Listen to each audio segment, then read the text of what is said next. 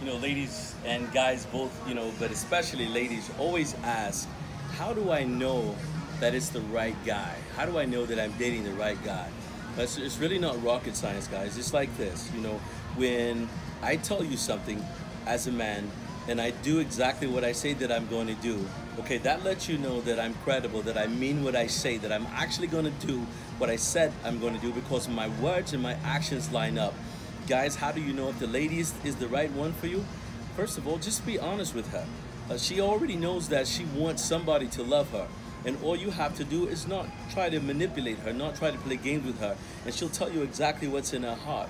And dating is not about spending money. It's not about that. So many times we get we pressurize ourselves and we think, I need to spend a lot of money to impress this girl. Well, here's the thing.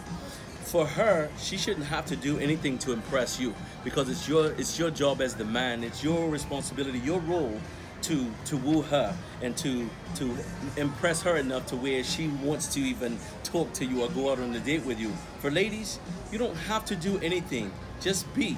All you have to do is just be you. And it's up to it's up to the male to pursue you and to win the opportunity to have your time. So don't worry about it. Don't try to play games with it.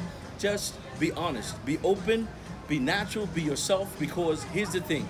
You have to live life. And if you started that relationship off with fake motives, with fake agendas, and you're trying to be something that you're not, guess what? You're gonna spend the rest of your life either acting or the act is gonna come to a close. And when that comes to a close, the movie will play out before it's even finished, and you'll end up in a breakup. We don't have to do that. Just be honest with each other, be natural, be real, and everything will work out because everything is about relationships. Build them well.